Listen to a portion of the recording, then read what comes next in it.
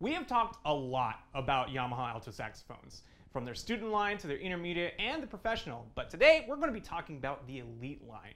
In particular, this, the new 82ZA Mark II, the great amber finish alto saxophone. Let's check it out.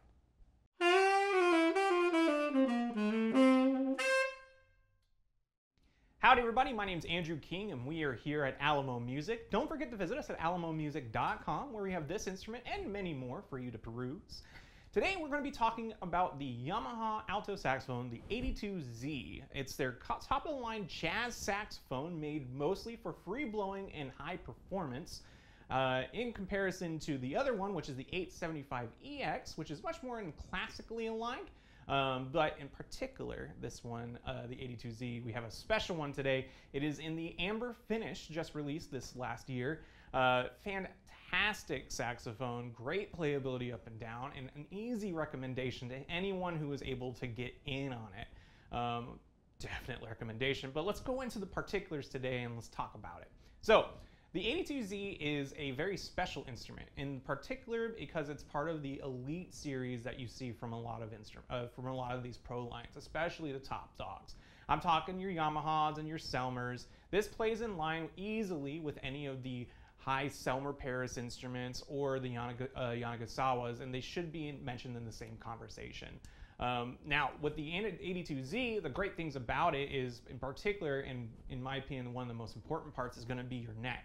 It comes with the custom V1 neck, and the custom V1 neck is a large, a large bore neck that allows for a lot more air to go through, uh, and it just really gives a really nice full sound. I'm very impressed with the my ability to get this very nice quick response. Uh, it's able to go up and down without too much trouble. I'm able to control octaves. I'm able to control pretty much everything about the instrument with ease. It's not a lot of precision work on my part. Um, so definitely a great instrument in that respect. The other cool thing is that the instrument really does open up, especially on the low end, and that's probably going to have to be mostly due to its uh, one-piece bell, where it really resonates on that low end. And this is one of those instruments because I believe because of the high, large bore, and then the really nice uh, low end it gives just the entire instrument very nice free blowing nature, able to do pretty much anything you ask it to. Um, up and down with a great intonation as well. Everything was in tune up and down, everything was playing great. Uh, I really enjoyed the ergonomics on the instrument as well. Uh, the action in particular when it comes to that is very nice, especially pressing down the keys. It snap right back up. Everything feels like it's very intentional. Um, if I had one thing, I would probably just raise the, the high F uh, palm key, but you're not really going to be using that too often, in my opinion, if you're actually using this kind of saxophone. So it's not too big of a deal. Um, but uh, other than that and everything, it just feels really nice in my hand, uh, up and down. I really enjoyed the. It, it just everything about it was very nice for me. I'm playing this on a Meyer seven star um, New York Meyer with a silver label Boston Sax Shop Reed uh, two and a half. Um, and I was able to just basically control myself all the way up and down. Usually with these kinds of instruments, especially when they first come in right out of the box, there might be a little bit of adjustments being need to be made. Um, but this one just flew right out. I just opened up the box, we took it out. I was like, it's perfect. Let's go ahead and do a video. Um, and so that really speaks to Yamaha's consistency across the board. I, I, I, have no doubt that if I picked up three or four more, that they would have played great too. Um, I was able to try these out at the last couple trade shows as well, so these were very much on my radar for us to check out and get into the shop. So I'm very, uh, very uh, impressed with how consistent they are across the line as well. Um, now, as far as anything else goes, the price point is going to be a little bit higher on uh, a little bit on the high end. You can check it out on our website as well. Um, and that's just going to be one of those barriers of entry that you're going to have to get past as far as getting these kind of saxophones from these brands. Um, you can get easily also get the um, the Selmer line, so a lot of their Selmer Paris stuff.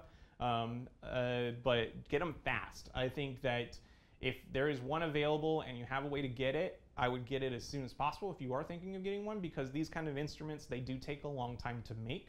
Um, and that's just due to the amount of craftsmanship that goes into them.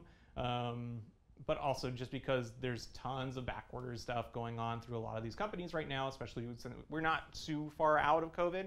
Um, they have gotten better over time. We're not like stuff waiting in the bay or anything like that, but uh, these instruments do take a while to get in. So I would uh, act fast on getting these instruments, especially something as special as this one. The 82ZA plays fantastic up and down, and I can't wait for you to hear it. So let's go ahead and check that out, and then we'll talk about it more later.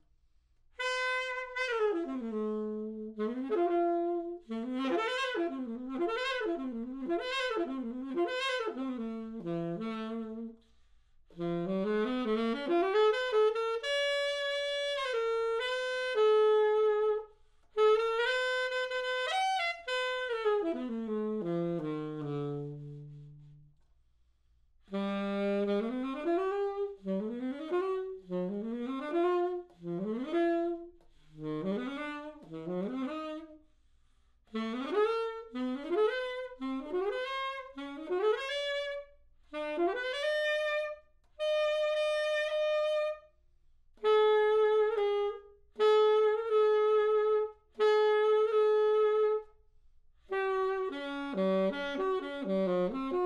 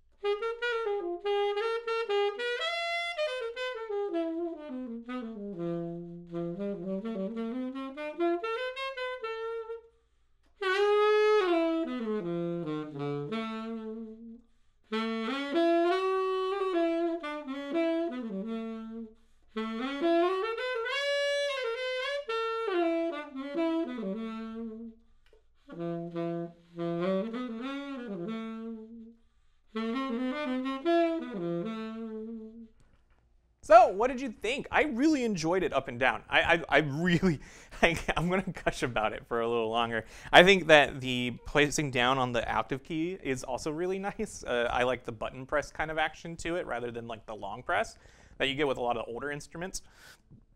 So as far as like being like a really nice modern instrument, this is about one of the best ones you can get.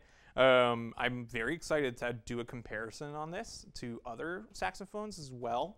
Um, I don't really see a lot of difference between an 82Z and an 82ZA as far as any kind of tone color. I'm not too big on like the uh, any kind of lacquer having a big difference. As far as the craftsmanship of this instrument, I think that the, uh, especially the looks of it are absolutely phenomenal. It's not going to change your sound or anything like that, but if you're playing a pretty horn and you have something that's this, this pretty, uh, gorgeous, uh, I really do think that it helps a lot with getting yourself into the saxophone. Um, and it's a great tool too. I'm really liking the amber finish. I think it covers, I think any kind of scratch or anything like that that could potentially happen over a long period of time because this is one of those forever horns. Um, it's going to look okay. Uh, it's not as noticeable or anything like that. Uh, especially looking like the, if you look down on it, the engravings are also very uh, particular, very very well done. I think it's just consistent, good Yamaha. Uh, just showing off that they can do anything with these. Um, I do really like, uh, especially the low end of the instrument when I'm playing it. It's just this very nice full sound that doesn't take too much effort. It, it, if you have a good airflow and you're able to support it, and you have a nice mouthpiece that's able to, you're able to fill up the entire way.